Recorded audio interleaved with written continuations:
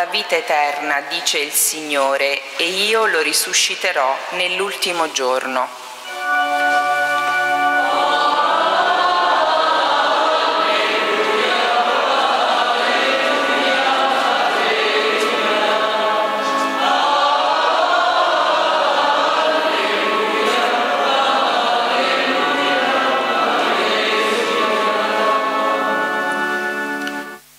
Signore sia con voi. E con il tuo spirito. Dal Vangelo secondo Giovanni. Gloria a te, o oh Signore. In quel tempo disse Gesù alla folla, Io sono il pane della vita. Chi viene a me non avrà fame e chi crede in me non avrà sete mai. Vi ho detto però che voi mi avete visto, eppure non credete. Tutto ciò che il Padre mi dà verrà a me. Colui che viene a me, io non lo caccerò fuori, perché sono disceso dal cielo non per fare la mia volontà, ma la volontà di colui che mi ha mandato. E questa è la volontà di colui che mi ha mandato, che io non perda nulla di quanto egli mi ha dato, ma che lo risusciti nell'ultimo giorno. Questa infatti è la volontà del Padre mio, che chiunque vede il Figlio e crede in Lui abbia la vita eterna, e io lo risusciterò nell'ultimo giorno. Parola del Signore. Lode a te, o oh Cristo.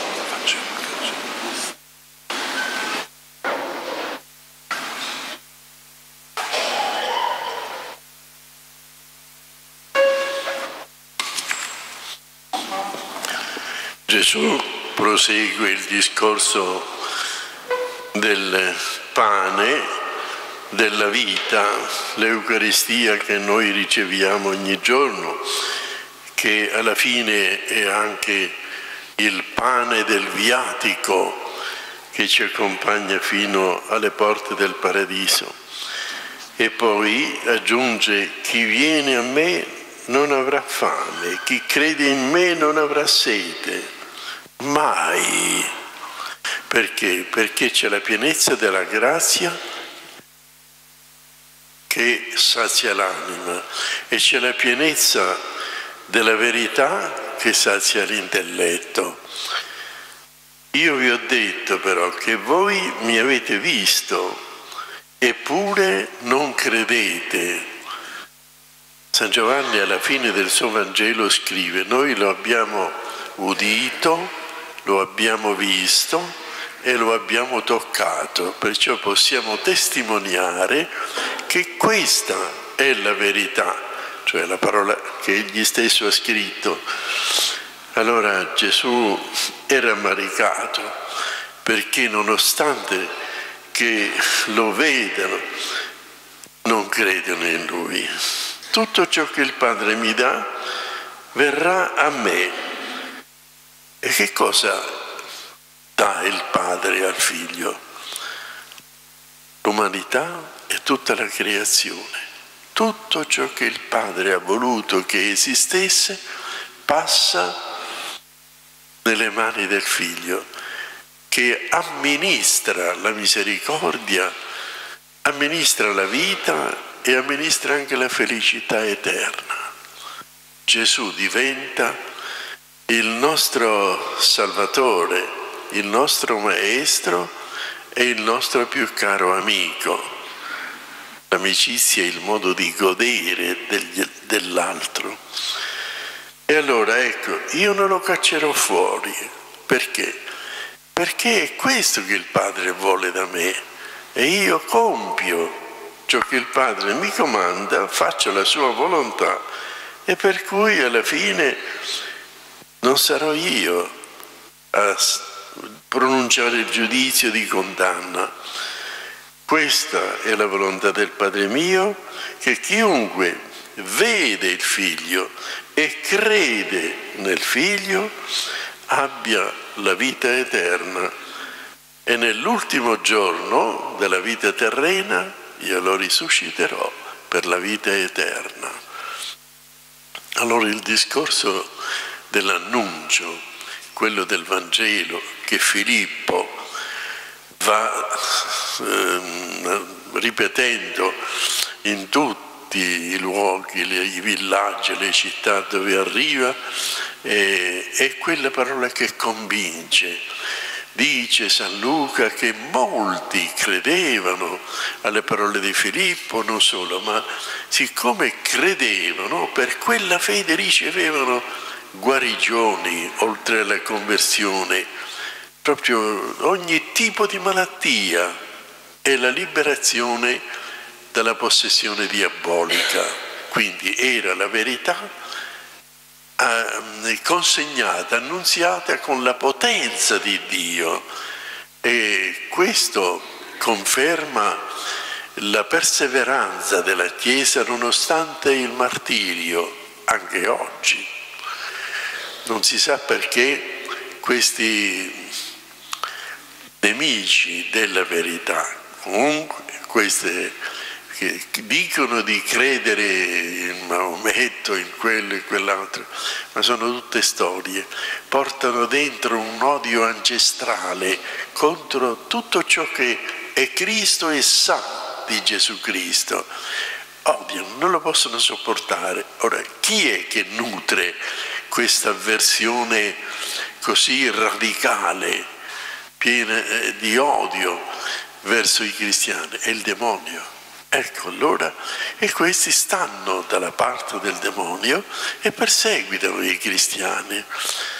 Avete notato, dice San Luca negli Atti degli Apostoli, che siccome era iniziata la persecuzione a Gerusalemme, allora si avverò la profezia che aveva detto Gesù, mi sarete testimoni, andrete, fuggirete da qui. E allora, ecco, vanno tutti i cristiani in giro più o meno a sistemarsi, a ripararsi, però gli apostoli restano a Gerusalemme questa volta, non vanno via, devono rimanere nella città santa, perché Gerusalemme è la città di Dio, e allora essi restano lì. Poi accadrà tutto quello che sappiamo. Comunque in questo caso si verifica quella dispersione dei credenti che parte da Gerusalemme.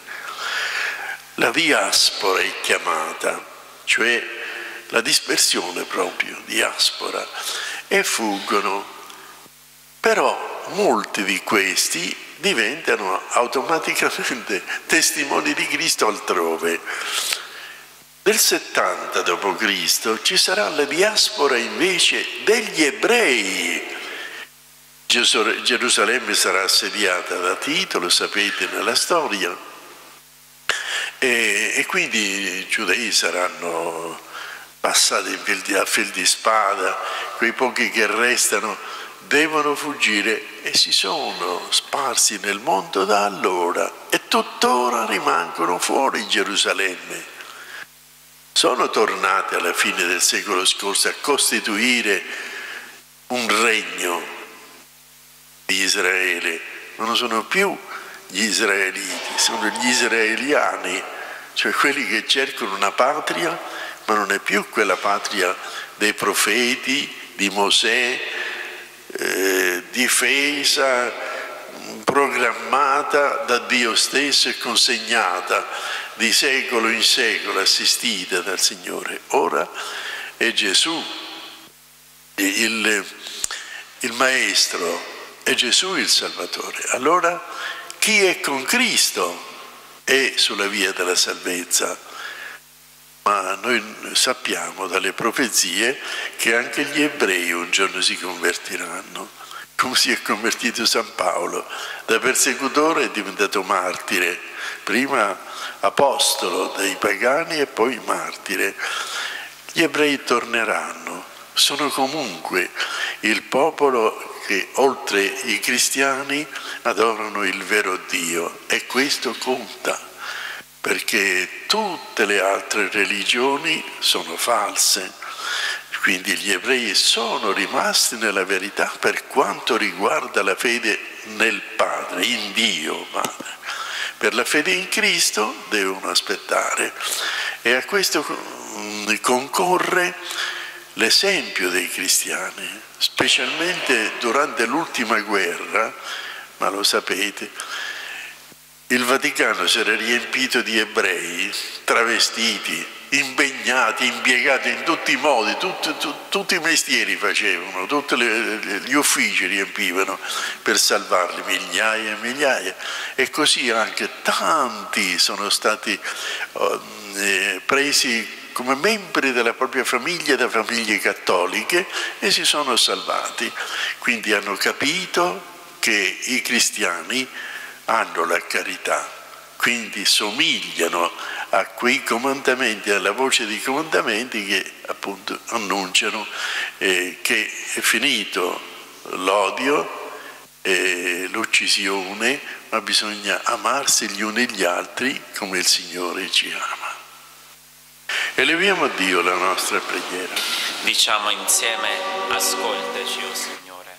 In mezzo a noi è questo il mio corpo, è questo il mio sangue, mistero della fede.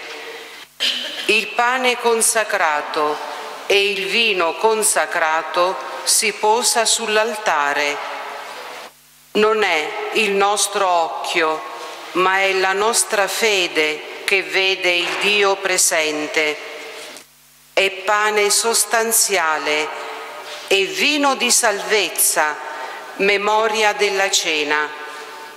È sacrificio santo di Cristo sulla croce. La Chiesa lo rinnova. Ininterrottamente si compie sulla terra quest'opera divina e per la sua parola Gesù è pronto a scendere in mano del Ministro il popolo si prostra e adora il sacramento con animo commosso. Il cielo è sulla terra e Dio in mezzo a noi si dona come cibo.